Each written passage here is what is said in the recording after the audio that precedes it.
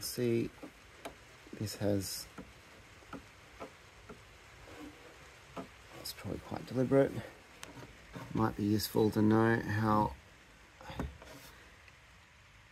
easy it is to plunge that up and down.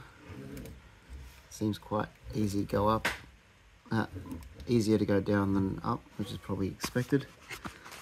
Um, you can see the belt under there can't see the belt behind the thing of course confident of how tight this was. It's never looked like it's bad.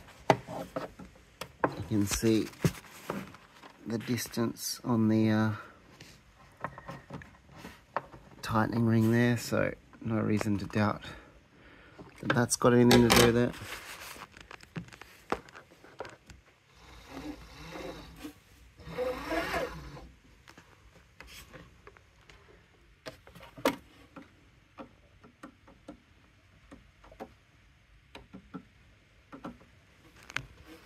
You can see the drill bit is I never removed it between doing the first cut and the second one, which is probably important to know.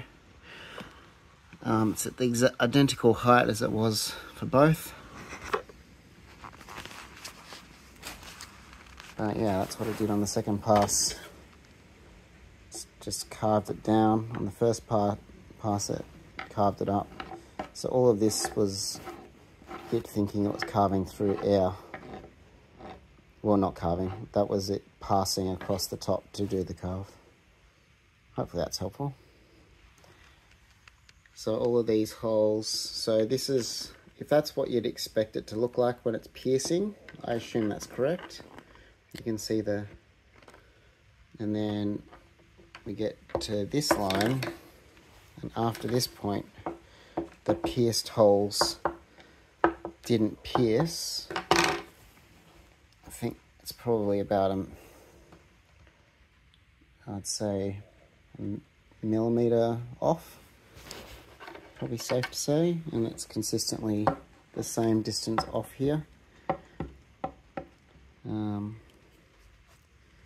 but yeah, so it seems to have got to a similar point where things have started going wrong again.